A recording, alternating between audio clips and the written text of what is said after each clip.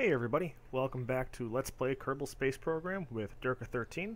I, of course, am Derka13. Let's see, in the last video we designed a moon satellite and we were going to launch it to the moon um, and put it in a polar orbit to complete a contract to do a low resolution scan of the moon. In the process, we're also going to hit uh, fly by the moon, just free money pretty much. And in between videos, I picked up uh, conduct an orbital survey of the moon and um, actually same thing. I didn't realize that. Just uh, different requirements here. We're not going to hit that with the satellite, but when we do our manned moon flyby, we will get these, and it will be fantastic. Um, I took a little time, and I actually flew Moon Low Scan 1 up into orbit. Saves us a little time, so you guys don't have to watch the whole uh, orbit process, because it's been done a billion times before. Here she is. Look, there's the moon. We're heading towards you. Actually do some science up here. Orbital telescope. Six science. Let's see what that does to our electric charge here. Eh, not too bad. Alright, so we are going to go to the moon. We're going to hit M for map. And we have to plan our lunar departure. Where is she? There it is. All right. Um, several other YouTubers who play Kerbal, they always say you want to um, go prograde as you see the moon rising. So, because we upgraded the tracking center, I believe we can add maneuvers now, which you'll see in a second what a maneuver is. So, we're going to be able to see the moon rising. Hang on, we got an orbital telescope we're going to do. We're going to be able to see the moon rising about here so we're going to click it and we're going to say add maneuver. And now we have all of our uh, different uh, maneuvers we could do here, or different points, uh, directions we can go. So we are just going to drag the prograde marker out and see what happens if we go strictly prograde. So it looks like we're going to miss the moon right there. But we can drag this little wheel right here and we could turn it until we do get a moon encounter. There we are. So we are going to enter the moon's sphere of influence. What that means is we are no longer controlled um, by Kerbal's gravity, and we're no longer orbiting around Kerbal, but we will be around the moon. Um, if we didn't do anything, we would simply just fly right back around the moon and go back to Kerbal. Um, we will see what happens, though. Well, actually, this is a satellite, so it's going to orbit regardless. So ignore that. If we click on the moon here, click it, and you say focus view, we'll be able to see exactly where we're coming in at uh, relative to the moon. So we're coming in there. Let's give it a little more prograde and see what happens. That actually pushes us away. Let's give us some retrograde. Nope, did not like that. Give uh, bring it back to where it was. There we go. Let's try some anti-radial. There it is. That's our sweet spot. And we're looking for about 250,000 because that is what the uh, scanner wants, or that's the scanner's ideal range. 257, 256, 247. We'll bring it up just teeny tiny bit more. 254. We're going to call that close enough. So, as of right now, we are coming in at uh, close to the moon at 254,000 meters. And that's fine and dandy. If we open it up here, we can see our maneuver, or the node for the maneuver, is in 13 minutes. That's good. We have some extra time. It's going to require about 900 delta V. And we have way more than that, so we are going to be good. One last thing I'm going to do. Moves are always more efficient the further out you are. So, what we're going to do is change our... Nah, that's not going to do any good, is it? I'm going to mess around with this a little bit here. Alright, so that brings us actually in a pretty polar... Or actually, that's uh, pretty goddamn good right there. I think we're just going to leave it right there. It's going to cost us uh, a little over a thousand Delta V now. but I like it. That sets us up, sets us up for a uh, really good maneuver. So, let's go back to the ship. Our maneuver is locked in. One great thing about MechJeb having smartass, we could say lock to the node, and that'll point us in the uh, the right direction for our maneuver, so we don't have to manually figure that out, which is great.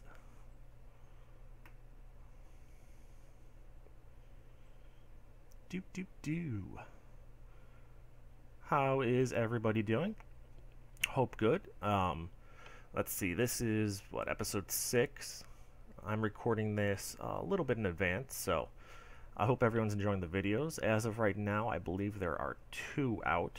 So please, if you like them, uh, tell your friends, tell your fellow uh, gamers, get me out there a little bit. This is something I love doing. So and I've only been doing it a short amount of time. So please uh, give me some exposure. The more comments and uh, tips I have from everybody, I will make even better videos.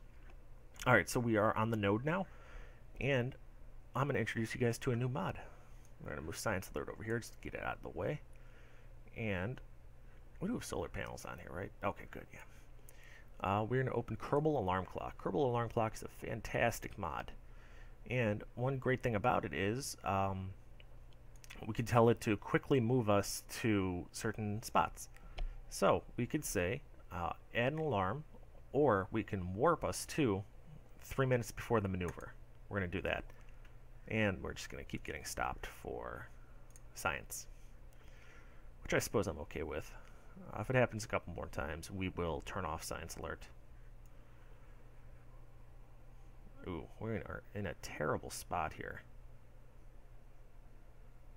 We're barely getting any uh, solar panely stuff. Maneuver.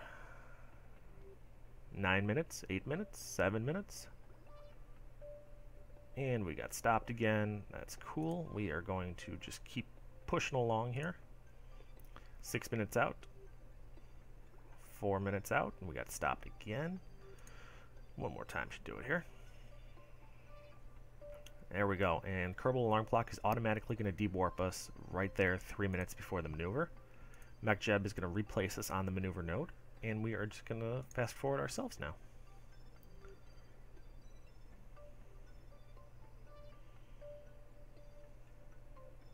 Hmm hmm uh, one minute out. Now, it should give us an estimated burn time, but because I did close the game um, it doesn't recognize how much power this engine has. So what we're going to do is we're just going to give it a little tap, just barely anything, and then right off.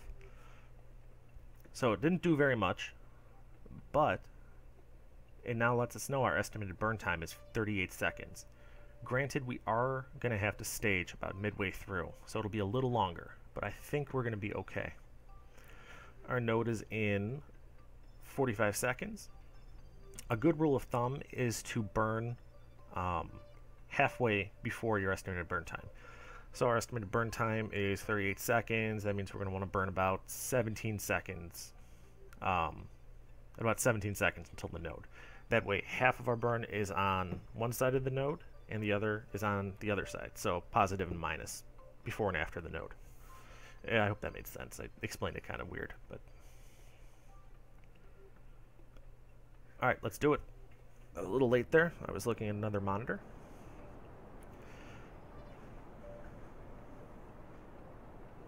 Alright, we're about to stage. Two seconds. There it is. Stage. Light. We're going to hit M, and we're going to look at the map view here. And you could see our orbit is just growing. Growing, growing, growing, growing, growing. We're going to have our finger on X and we're going to keep bringing it down until this gets to zero.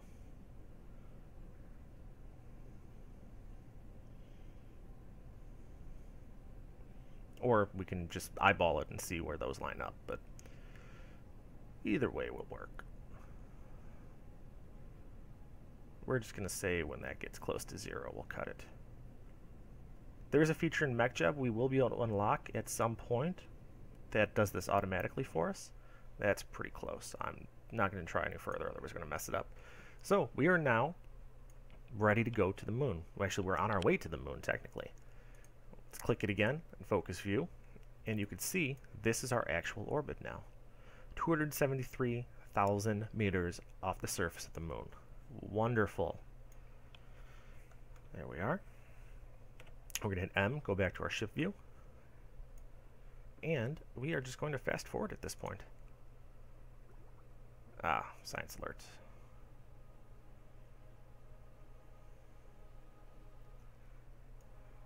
Bye, Kerbin.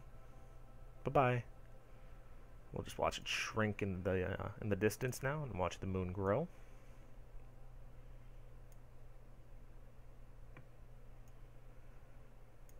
We can actually turn off smartass for the time being, save a little power. We got a milestone here. Broken a speed record of 2,500 meters a second. Awesome.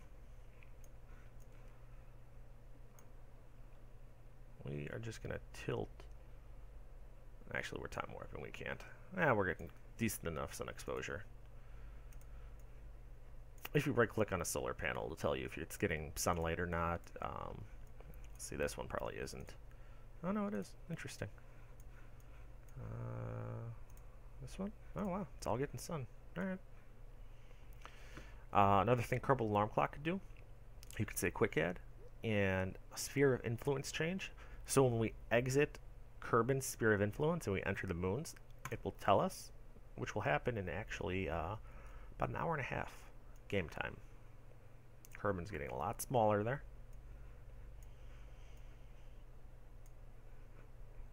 Let's fast forward a little more. Now that we have this here, uh, Kerbal Alarm Clock will dewarp us conveniently. Kick it up even more. There we are.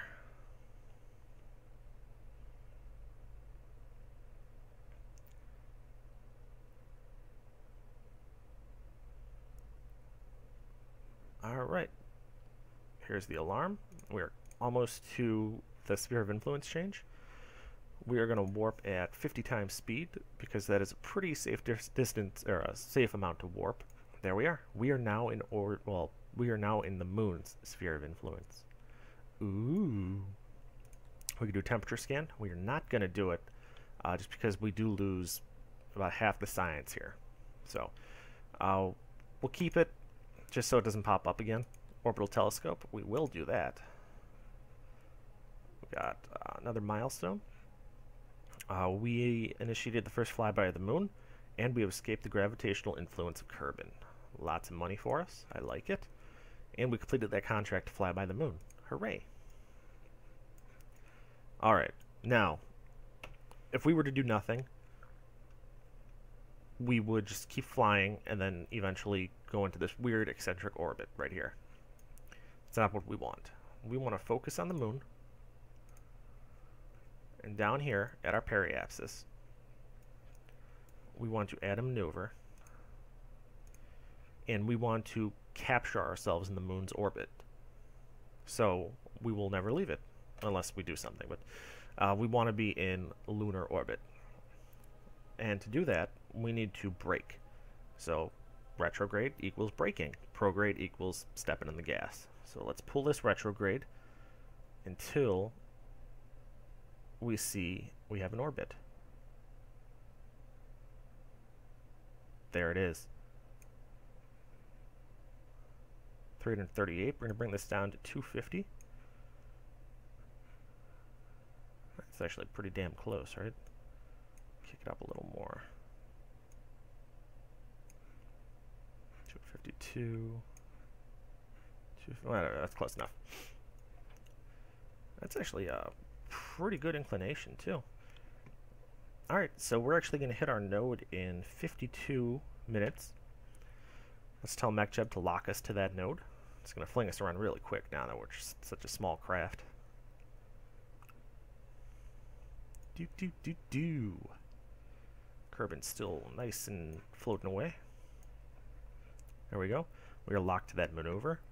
And we're going to tell Kerbal Alarm Clock to warp us, oh no, go away, to that maneuver. Look at that the moon, ladies and gentlemen. We are here. Very soon we will be here with a Kerbal, Valentina, or Jebediah. I'm not too sure. I might just flip a coin. There we go. So we're three minutes out. We are locked to the node. It's going to take 490 meters a second of delta V. We have plenty in the tank. Not worried about that at all. Let's fast forward a little bit. It's going to be 11 second burn, so we'll start it at about 5 seconds to the uh, marker. I'll probably speed it up a little more than that. There we are. And 5 seconds, we're going to burn. Now we're going to want to watch our numbers here. They're going to look really wacky for a minute. Let's cut it and go nice and slow. There we are, 30 meters second left. Bring it down even more. Oh, we overshot it. Oh well. Alright guys, we are in orbit of the moon. Fantabulous, right? We can actually go prograde and push this out. It's not super efficient, but it's not terrible where we are. So we're going to push our periapsis. Everything got flipped now. We're going to push our periapsis to 250 because that, again, is optimal for our scanner. Oh, man, I overshot that again. Son of a bitch. These tiny tweaks are just killer. Just wait till we start doing stuff like going towards uh, uh, Duna.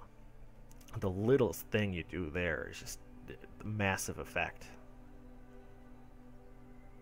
Actually, one thing we could do, we go back to the map. We could right-click our engine, and we can right-click on this thrust limiter, and we can bring down the thrust. There we are. And we are going to look at our periapsis here. And let's go ahead and drop that. There we go, 249. I'm happy with that. Kerbal alarm clock, please warp us to our uh, periapsis now. There we are. It's going to bring us 30 seconds from our periapsis. There we go. And we want to be at our periapsis so we can retrograde burn at our to our apoapsis and effectively bring our apoapsis down. So we want to lock to retrograde. Uh, is already doing that for us. Thank you, MechJeb.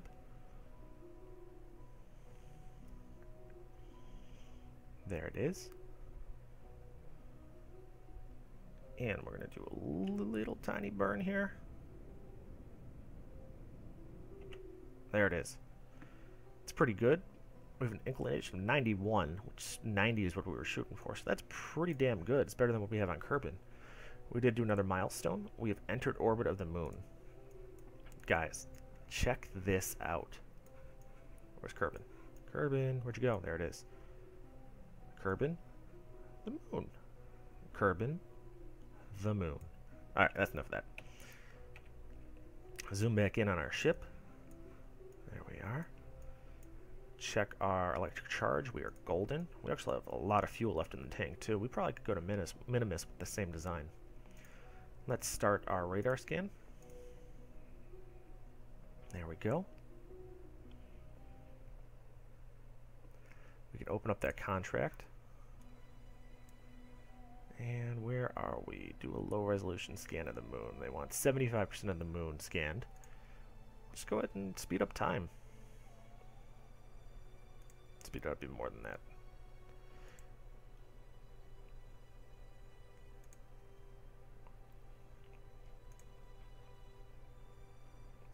So we've done 50%.